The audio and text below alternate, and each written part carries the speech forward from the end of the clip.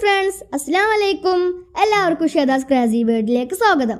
ഞാൻ ഇന്ന് എല്ലാവർക്കും ഉപകാരപ്പെടുന്ന ഒരു വീഡിയോ ആയിട്ടാണ് വന്നിട്ടുള്ളത്. അധികം എല്ലാവർക്കും ഉള്ള പ്രശ്നമാണ് കുഴിനകം പ്രത്യേകിച്ചും ഈ മഴക്കാലത്ത്.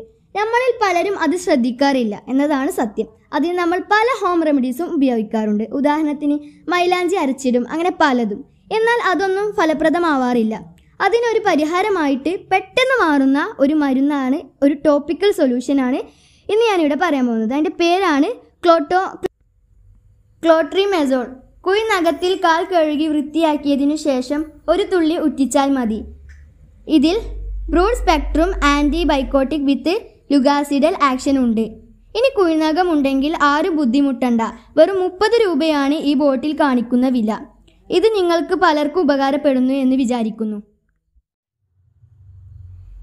വീഡിയോ നിങ്ങൾക്ക് ഇഷ്ടപ്പെട്ടാൽ ലൈക്ക് ചെയ്യുക സബ്സ്ക്രൈബ് ചെയ്യുക ഷെയർ ചെയ്യുക.